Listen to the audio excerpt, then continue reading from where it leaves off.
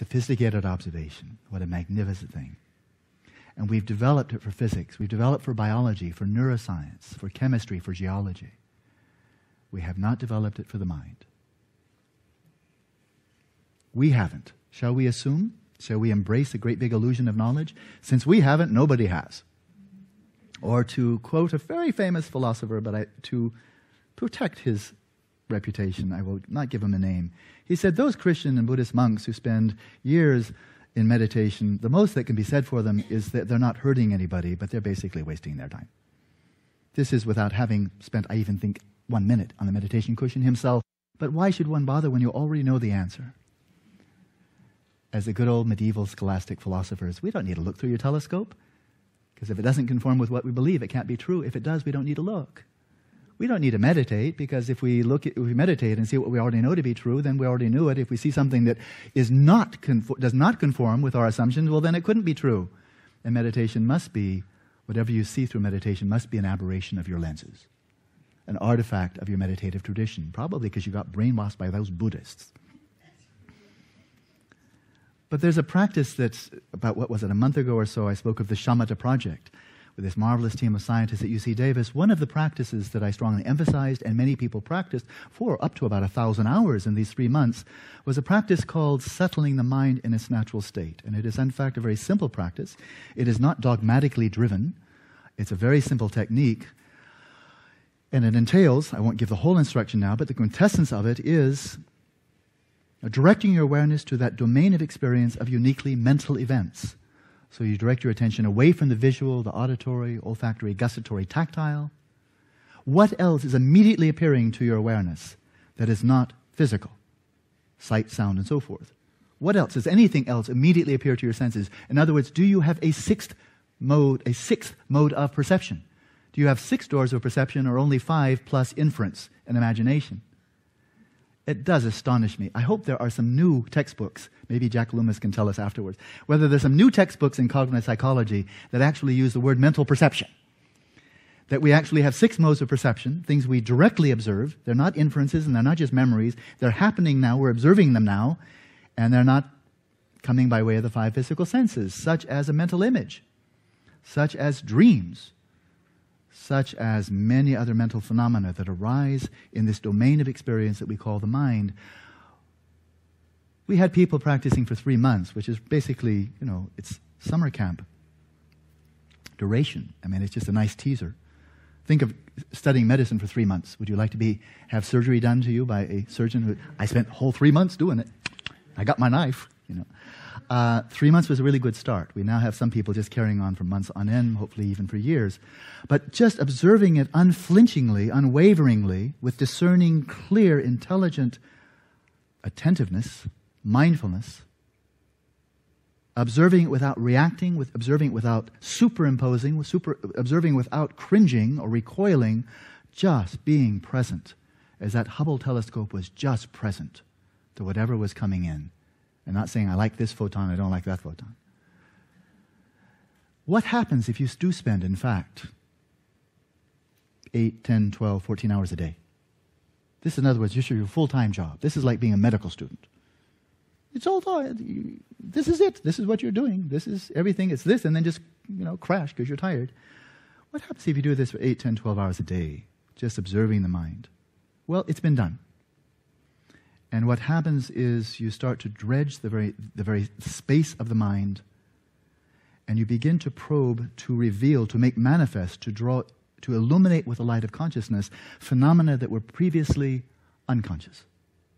Those 10,000 galaxies in that blank, that dark spot in the sky, they were in the astronomical subconscious.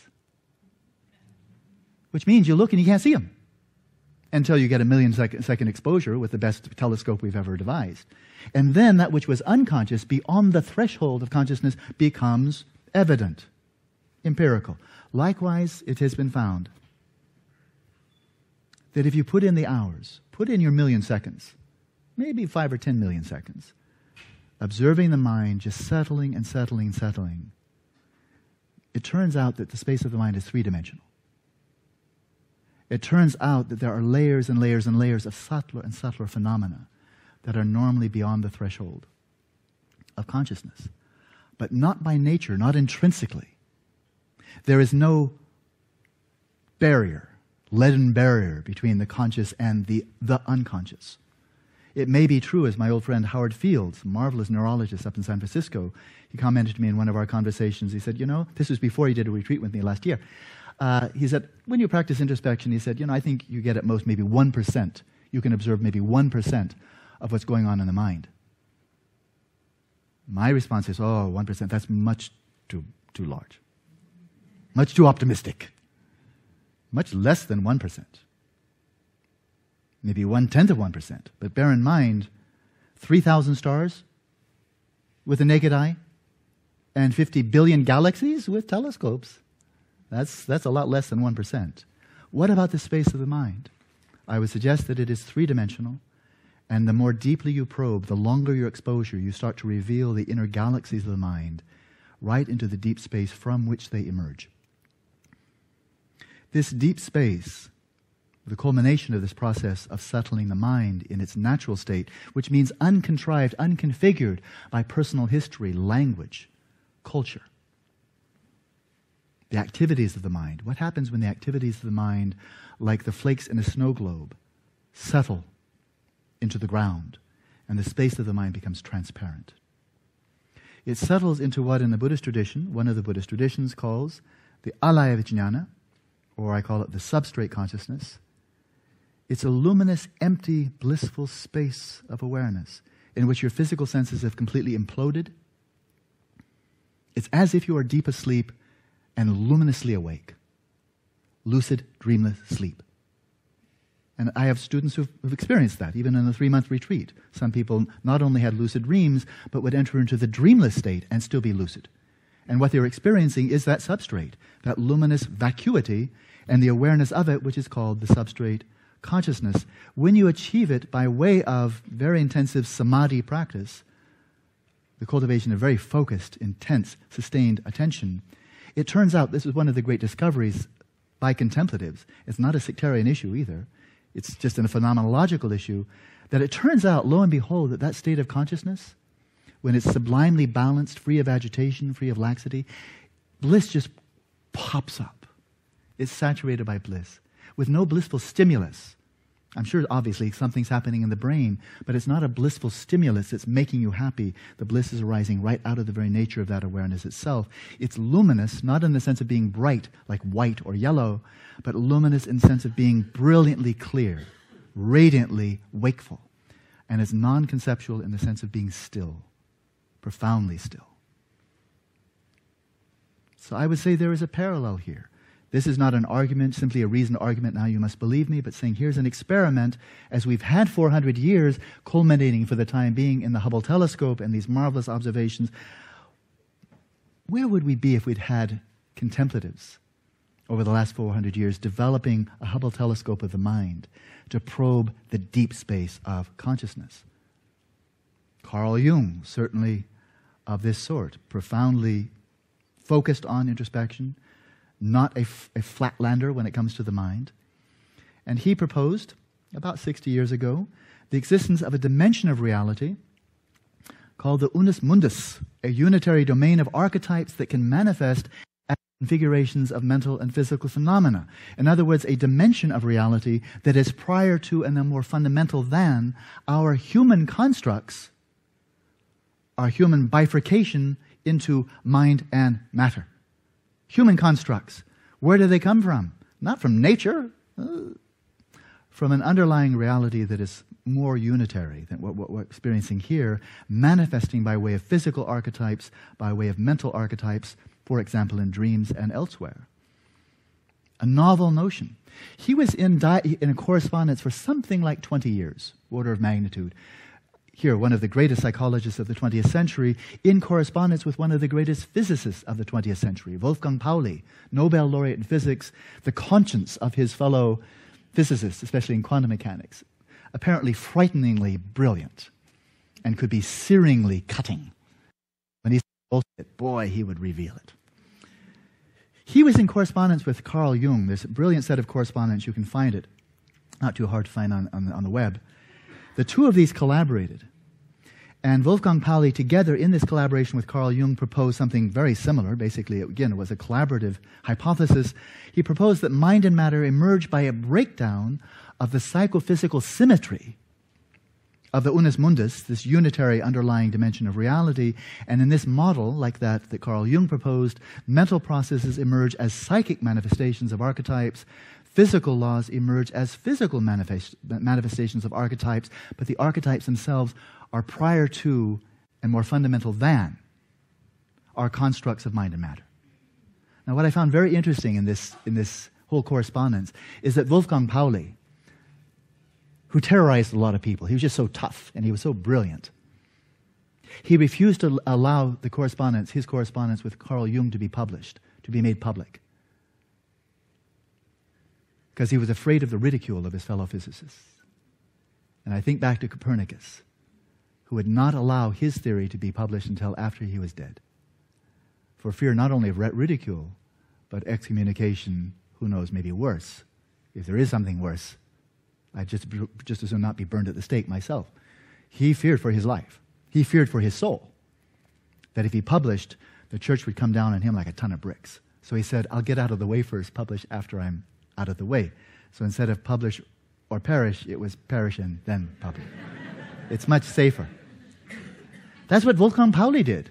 He did not allow his correspondence with Jung to be published until he was safely in the grave beyond the realm of ridicule, at least that he would have to hear. So that's from physics. Wolfgang Pauli, no, no mean physicist, and there have been others after him. Roger Penrose at Oxford University, something very similar. George Ellis in South Africa, something very similar. The notion, especially these brilliant mathematicians, they're asking a question for which physicists on the whole don't have an answer, and that is why is it that the physical universe so sublimely and exactly follows mathematical laws?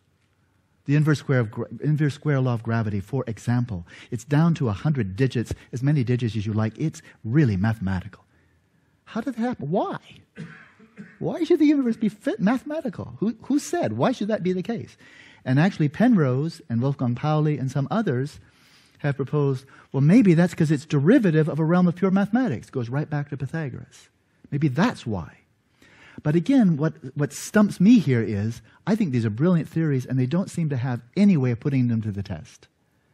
They've been around, Wolfgang Pauli's theory been around 50, 50, 60 years by now. Penrose's brilliant theory, but who's got, it, who's got any test? David Bohm, the implicit or, the implicate order and so forth. Beautiful theory.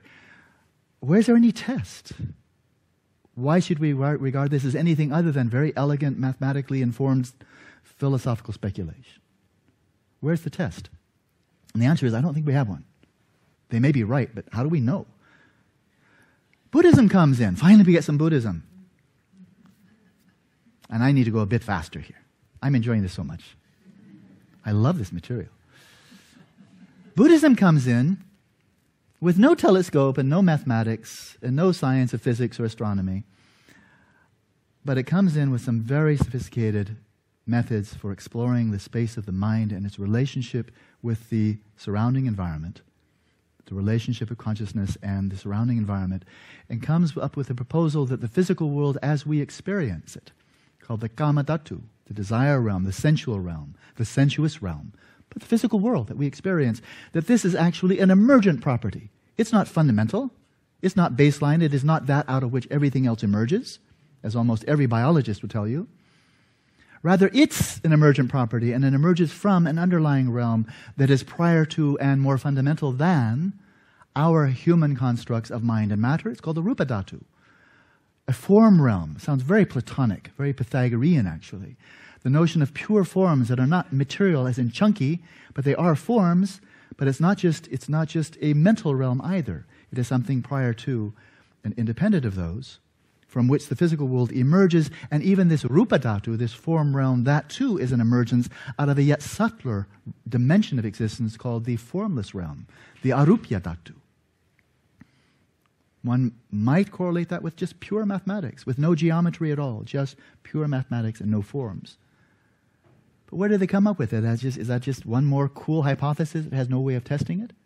And actually, to the contrary, when the Buddha himself came up with this, and then 100 generations of yogis after him keep on corroborating the same discovery, because I think it's going on to this present day, this actually is a theory that comes directly from experience.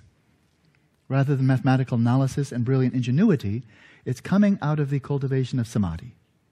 Very, very deep meditative states, highly focused, where the psyche shuts down, the, sh- the psyche implodes into the substrate consciousness, and the substrate consciousness is like a portal to the form realm. Go yet subtler, that is a portal to the formless realm. And all of these been exhaustively mapped.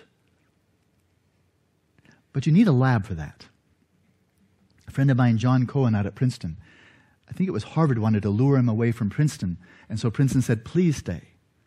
My wife is going through something similar to this, but a little bit less money involved. John Cohen, world class cognitive neuroscientist. He's at Princeton. Harvard wants him. Princeton says, please stay. We'll give you $500 million. $500 million to build your own lab. Will you stay? He said, yeah. so that gives you a really good lab.